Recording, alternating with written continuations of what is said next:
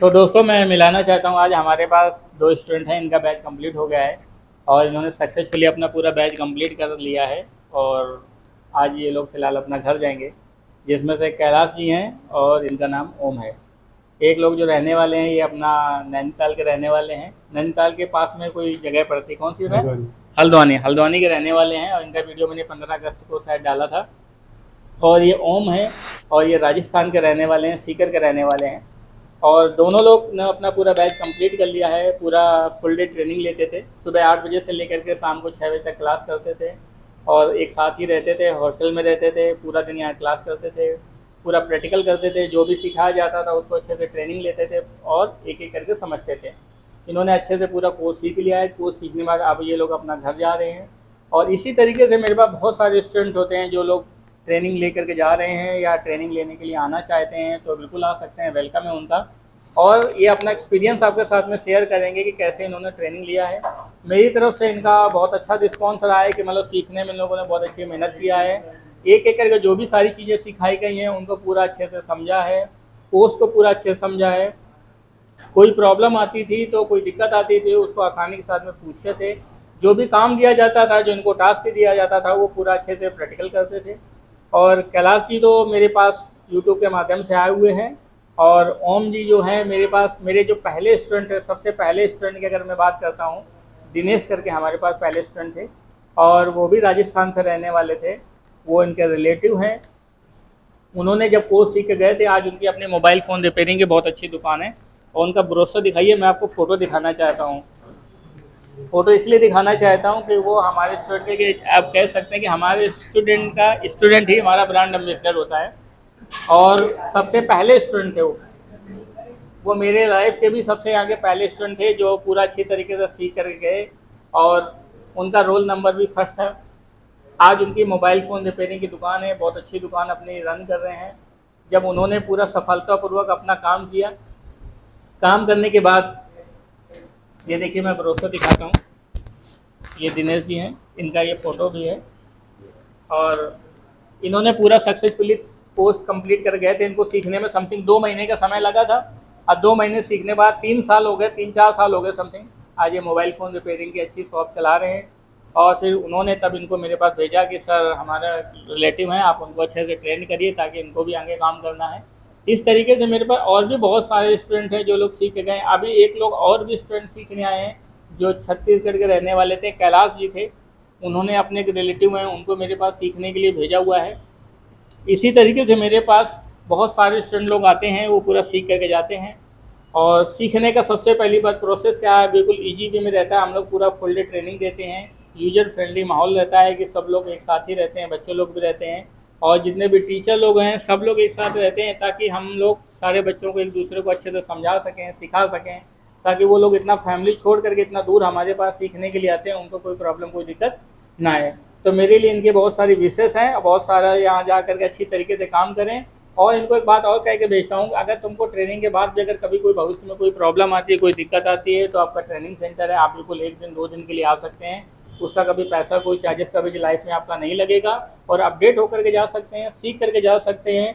और कभी कोई प्रॉब्लम आती है तो ई टेक स्टूडेंट आपको हमेशा के लिए आपको मदद करेगा और हमेशा के लिए आपको सपोर्ट करेगा। तो कैलाश जी, आप अपना एक्सपीरियंस बताइए। कि आपको यहाँ पर कैसा रहा क्या क्या सारी चीज़ें सीख चुके हैं और सीखने के बाद आगे का आपका प्लान क्या है कि किस तरीके से सीख के आगे काम करेंगे सर? ये उत्तर ये उत्तर प्रदेश का सबसे अच्छा इंस्टीट्यूट है और इस सर की पढ़ाया हुआ सब समझ में आता है। और यहाँ से जाने के बाद सीधे मैं दुकान ही डालूँगा एक महीने के बाद। एक महीने के बाद दुकान में थोड़ा करूँगा। एक महीने दुकान पे अपना काम करेंगे उसके बाद ताकि माहौल वगैरह देख करके और बिल्कुल सही बात है कि यहाँ पर सीखने के बाद हर एक स्टूडेंट को कहीं ना कहीं महीने, दो महीने एक्सपीरियंस लेना बहुत ज़रूरी है। मार्केट में चारों तरफ़ देखना बहुत ज़रूरी है कि मार्केट में क्या काम हो रहा है, किस तरीके से लोग काम कर रहे हैं, हमारी स्ट्रेटजी क्या होगी, हम भी किस तरीके से काम करेंगे। और कैलाश जी को मैं कहना चाहता हूँ कि सर काफ़ी साल से जॉब कर रहे थे ऑलरेडी जॉब छोड़ करके इन्होंने काम सीखा हुआ है। और बीच में मेरे पास सीखने आए थे, पंद्रह बीस दिन के लिए चले गए थे, क्योंकि जहाँ पर जॉब करते थे, वहाँ से इनके बाद फिर प्रेशर आया।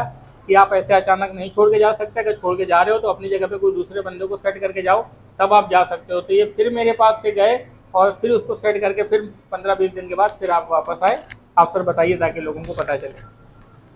मैं ये कहना चाहता हूँ कि जॉब नहीं करो तो बढ़िया है। अपना बिज़नेस ही करो कुछ भी काम।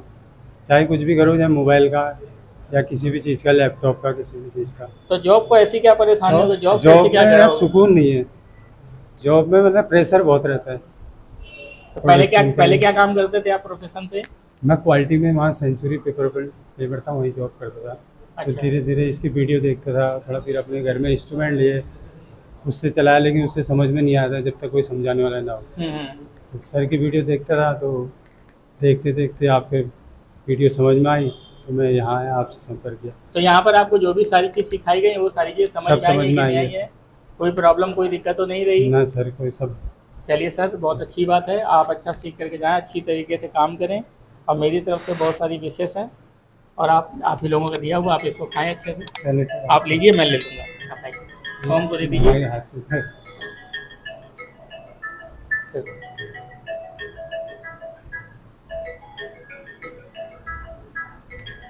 ये दोनों दोस्त हैं। एक नैनीताल के रहने वाले एक राजस्थान के रहने वाले हैं। कहते नहीं बाहर निकलो तभी असलियत पता चलती है। घर में तो सारी चीज़ें एक जैसी होती हैं। हाँ। बाहर निकलने के बाद ही दोस्त बनते हैं भाई बनते हैं सब लोग बनते हैं। और एक अच्छा इन्वायरमेंट क्रिएट होता है क्योंकि आदमी को यही एक लाइफ होती है कि आदमी को सीखने का टाइम होता है। आदमी सीखता है सीखता है इसलिए आगे बढ़ने के लिए। इसलिए सीखा जाता है ताकि आगे बढ़ने के लिए। तो ओम जी आप बताइए जरा अपने बारे में ताकि सारी चीज़ें को आप कह सकें। मेरा नाम ओम प्रकाश है मैं राजस्थान से रहने वाला हूँ। मैं, मेरा नाम ओम प्रकाश है, मैं राजस्थान से रहने वाला हूँ। मुझे यहाँ भेजने के लिए हमारे संपर्क में दिनेश जी थे, वो लंबे समय से सर के बारे में बता रहे थे। मैंने आने का बहुत प्रयास किया, लेकिन ऐसा समय नहीं बैठ पाया कि मैं सर के संपर्क में आ सकूँ। लेकिन बार बार कोशिश करने के बाद सर की यादें या चल प्यार कुछ भी मानो सर लेने की यहाँ तक खींच ले आई।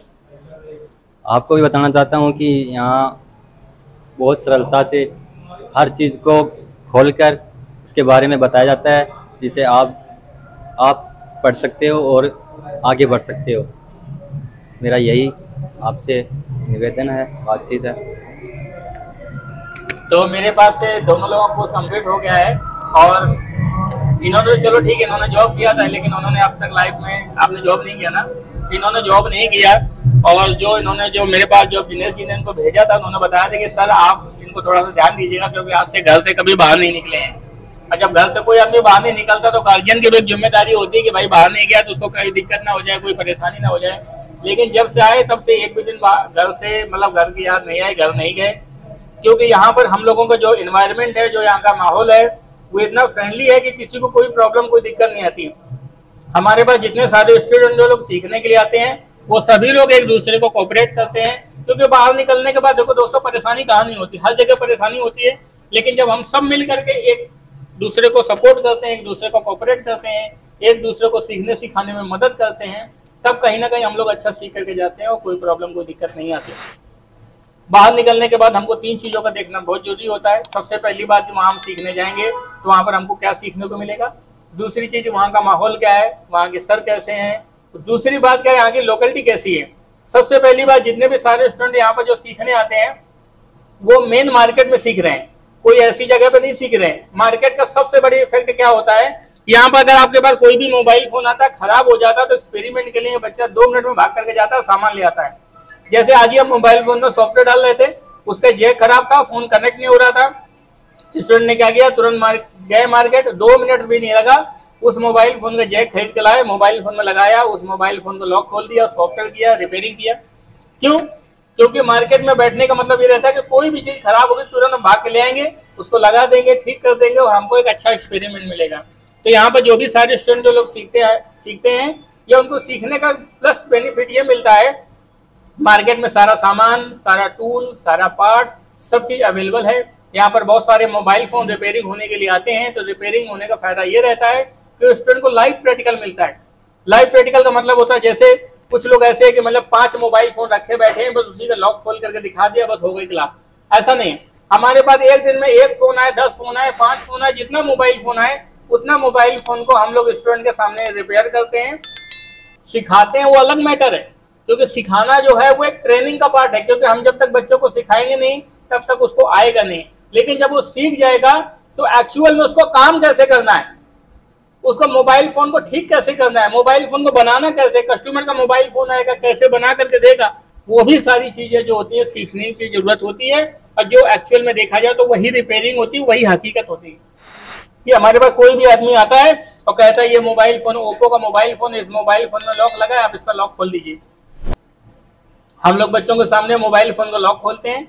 लॉक खोलने से क्या होता है? बच्चों को सीखने को मिलता है, उनका तरीका पता चलता है, उनको कॉन्सेप्ट पता चलता है। तो दोस्तों, आज की वीडियो में इतना ही।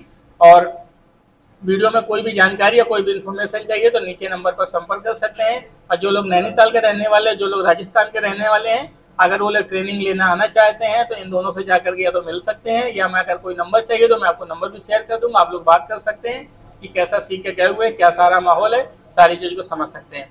तो दोस्तों, आज की वीडियो में इतना ही। धन्यवाद।